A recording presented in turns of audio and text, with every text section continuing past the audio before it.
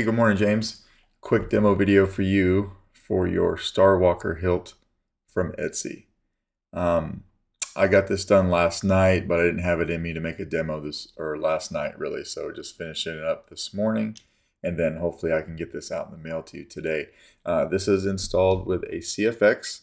You've got the two illuminated switches that came with the saber. So your front one, the one that sticks up just a hair, will be your activation. The back one here will be your auxiliary. Um, I did leave your blade plug in here for now just to show you that it's got some shine through. And then how you get to everything is you just want to unscrew the handle. Okay. Um, I did some things to the CFX board. This is a very snug fit and you have small threads on the handle. So I put some thread grease on it. Um, if it wears out in the future, don't force it. Uh, get some thread grease and put it on there because it's very easy to strip these threads. I don't know if you can see them or not, but they are super tiny. You can see them there, super tiny. So take care with these with some thread grease if you need to. All right, but we'll put that over off to the side. Um, here is your chassis. So you got your CFX board right here. Um, I used all of the eight LED pads for different things. So pads one through six, I've got some actual onboard LEDs here that all light up red, green, blue, red, green, blue. So you'll see that when I light it up here in a second. Um, Pads 7 and 8 are for the LEDs on your switches. So you can do, you, have got lots of options there on how to make these uh, react to different things. All right. Um, you've got a removable battery set up here. Uh, just some little greeblies here that I put on the chassis. Uh, it does say Solo Sabers over there for me and Aurebesh uh, Smuggler's Outpost emblem. And then a Smuggler's Outpost 28 millimeter. Uh, this is the elite version of the speaker, fully enclosed, so it sounds really good. All right, now what else? I put a real quartz crystal in your crystal chamber and then uh, some brass greeblies on either side. Now this crystal will spin on you a little bit. I chose not to glue it down because it does have, uh, it's pointed on both ends. It's terminated on both ends. So it, it's held in there very tight. Um, if you don't like the fact that it spins around, let me know. I can glue it down, but it's not going anywhere. I thought it was pretty cool. Um, just let me know what you think about that. All right, so these brass greeblies are actually two greeblies I've got that I had left over from the Veracity Labs crystal chamber for the Magic of Myth saber. Um, when you put a bigger quartz crystal in those crystal chamber setups, you have to take this bottom piece out. And I've done three or four of them by now. So I had these laying around and they were extra. So that's what I put in here. I modeled them into my chassis, all right, to hold the, the uh, crystal in there. So we'll throw a battery in the sky.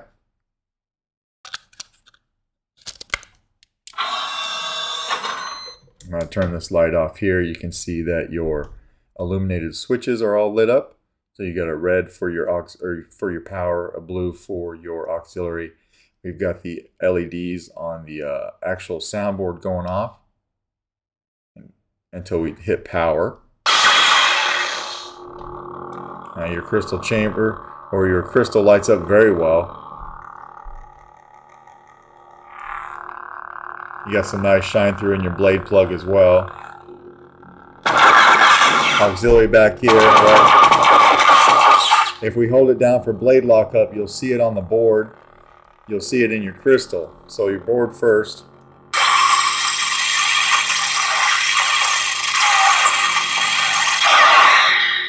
And then your crystal.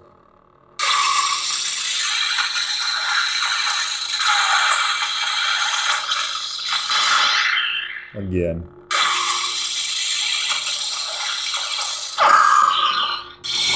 And we'll turn it off just like that and we'll throw the handle on it. It is a very snug fit, but it all goes together. I'll turn this light back on. I know the blinkies on the board are hidden when the handle's on, obviously, but I just thought it was pretty cool to have them on there anyway. All right, so we'll go ahead and we'll twist this all the way on you have three chassis retentions on here because everything was so tight. Um, and I'll show you what those three are here in a second. Let me get this on. Uh, because the threads are small, there's quite a few of them, so it takes a moment to uh, screw the handle on, but it's no big deal. All right, so we'll get that nice and tight. You've got a chassis retention right here, and then I use I cut this one down a little bit and use that for chassis retention as well as the one on the other side, so a total of three. All right, your blade retention though is this guy right here. not this guy. This holds your PCB in, so you do not want to mess with that one. This guy right here is your blade retention. All right, so we'll loosen that up. Slide your blade plug out. I'll make sure that gets put back into your saber. And then we'll put our blade in. A standard one inch diameter NeoPixel blade. And then we'll lock it down. And we'll go ahead and we will fire this up.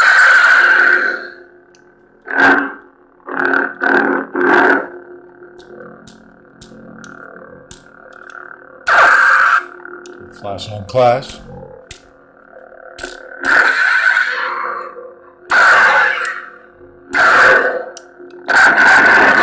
Blaster bolt deflects is just tapping the auxiliary.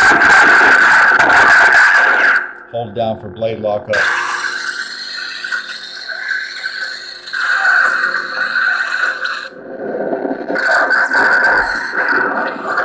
Now, if you to change color, hold down Aux and twist the saber.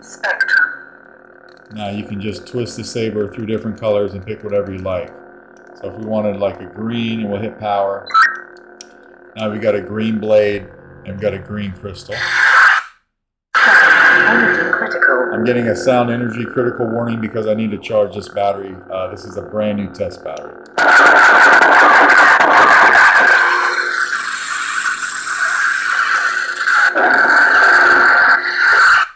Uh, changing sound fonts is just holding down the auxiliary.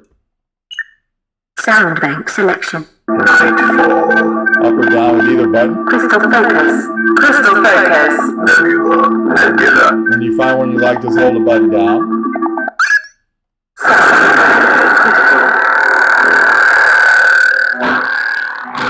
This saber is super rad.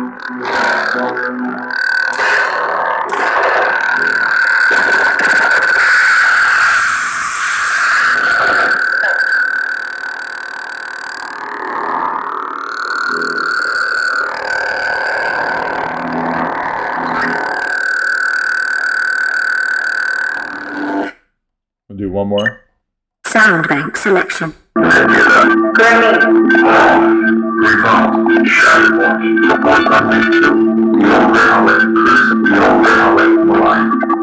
Now you'll see what a Sith is capable of. Energy critical.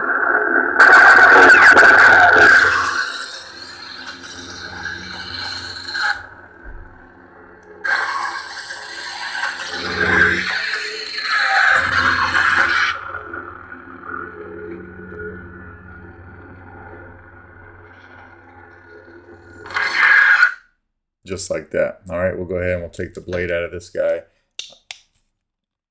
We'll need to loosen it up first. It is a snug fit uh, for a blade. If you have a brand new one, you might want to do a little bit of sanding. Not a big deal. But it, it will require some sanding. I haven't sanded this too much, um, and it's fitting in here super tough. All right, so I'll put your blade plug back in here, tighten it down, and then uh, we'll go over taking the battery out, which is easy to do. Although CFX does have a deep sleep mode, so you could leave it in there if you wish. And eventually all this would turn off on you. But we'll go ahead and unscrew the handle.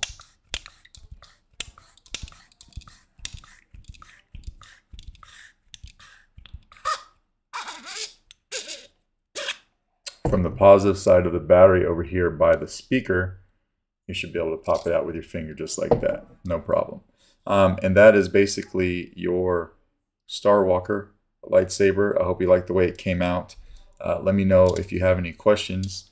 If not, uh, I will package this guy up and get it out to you in the mail today. All right. Thanks, man.